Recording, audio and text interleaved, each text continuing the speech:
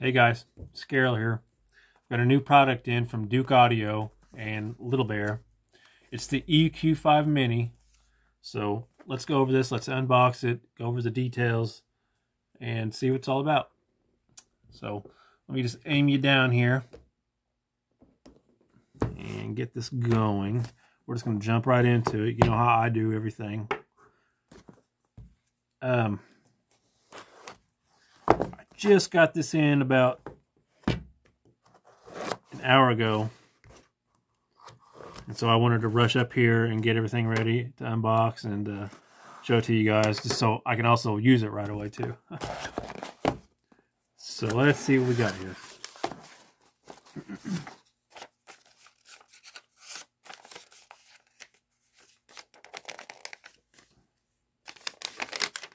All right, we have the user manual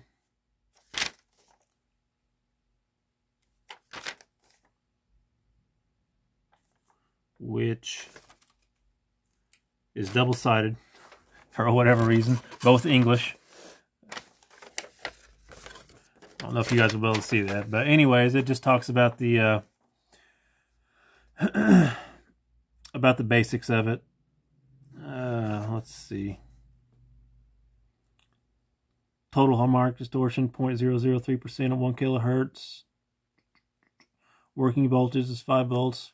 500 milliamp. Takes Type C. And I mean, that's pretty much it. I mean, it covers the stuff that's on the EQ itself. Nothing real, uh, nothing, nothing that, uh, that we won't go over ourselves. So let's see. Okay. Wow. Okay. Wow. Okay, this is way, way smaller than I thought. Holy, holy crap. Okay, which that's not a problem. Okay, and also comes with some rubber feet. Let me see if I can get that to focus. No, nope, of course not. Some nice rubber feet. Stop them from vibrating around on your desk or wherever you may have it mounted. And that's it. It also comes with the uh, Type-C USB cord. So, nothing more than what you need. Okay. Let's go ahead and unwrap this. I don't know why. Just your common Type-C cord. Okay. Okay this thing is way smaller than I thought. Like, this is the box knife I just used to cut that open. I mean, in the pictures on uh, eBay where I got it from, from their eBay store, I mean, it does look a little bit bigger. Like, if you look at their uh, EQ7 Pro, I mean, it's, you know, twice as big all around. Okay, wow, yeah. So the good thing about this is it will fit just about anywhere on your computer desk or in your uh, on your office desk or wherever you may put it. Wow, I can't believe how small this thing is. Okay, well, let's go over this. All right, so this is a five band EQ if you can't tell already. Um, I wish that would focus. But, okay, here we have the power on and off switch. Simple. 100 hertz, 400 hertz, 800 hertz, 4 kilohertz, and I think, was it 10 kilohertz What's that looking? Yeah, 10 kilohertz.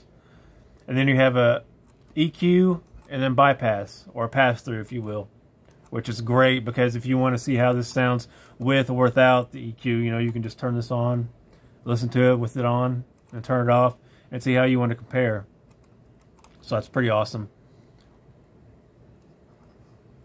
All right, the back pretty simple. 3.5 in, 3.5 out, RCA in, RCA out, and then your USB, your USB-C type connection. Super simple, nothing fancy. I mean, this EQ goes for anywhere from like 40 to $60. I think I picked mine up for uh, like 44 bucks shipped. So, pretty good deal. Pretty good deal. so the overall construction of this is nice. Metal case. Nice metal knobs. Smooth rolling. No incremental uh, type knobs or whatever you wouldn't call it. Nice and smooth. And I like this gold all around it. It's pretty nice. It should, I mean, it. I think it would blend in with most systems unless you have a silver setup. But, you know, even if you have a black setup, the silver doesn't stick out enough to uh, be gaudy or anything like that. I still can't believe how small this is. I mean, I know it says EQ Mini, but yeah, it's Mini all right. So, um, I don't know of any other equalizer in this price range that compares. I mean, they have the EQ Pro, which I think is like the same setup.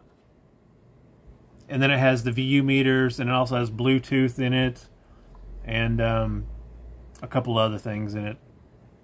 So, um, and it has volume too which I'm kind of glad this doesn't have volume on it. I don't uh, particularly care for an EQ with the volume knob on it. Like their EQ7 Pro, it's a great equalizer, and I'll go over that in another video. It has a volume knob on it, and I kind of wish it didn't. That way I could just utilize the main volume on the uh, receiver, but that's okay. Uh, let me see. What else?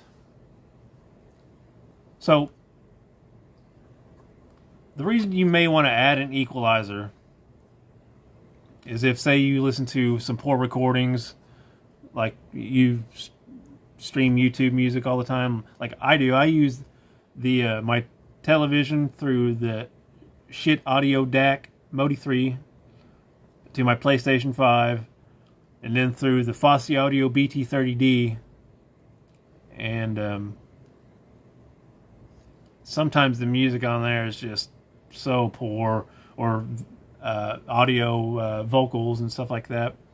And so you can use an EQ to easily boost or decrease certain noises that you don't want noises. Um, and what's great is this is around the 4 kilohertz mark. If it was a little bit lower, around 2 kilohertz, that would be a little bit better, but 4 kilohertz will still knock that down. And, and this is variable, so it's not like you're just raising 10 kilohertz, 4 kilohertz, and 8 kilo, 800 kilohertz. So I'm sure that 100 kilohertz probably dips down to around 50 and, and goes up to, you know, around 300 or so, and, and vice versa with the 400 and so on. Um, so you're going to be covering quite a wide, a wide range and as I was saying, you know, like rock music, especially like if you listen to heavy metal, like I do all the time, like death metal. Um, you know, some of my favorite bands like Dying Fetus and Cannibal Corpse and Vehemence. Some of that can be a little, little, uh, a little noisy. You know, so you might want to dial down that 10 kilohertz and that 4 kilohertz, and that 800 kilohertz a little bit, raise the rest a little bit. You know. Hmm. So yeah, the EQ5 Mini from Douk Audio, 40 to $60 currently in 2023. I don't know of any other equalizer that could beat this for the price. Um, maybe if you find one used, you know, from another brand, but this is it. I think this right here is a good product. So, yeah. All right, guys, that's it. The EQ5 Mini from Douk Audio. That's all from me. See you later.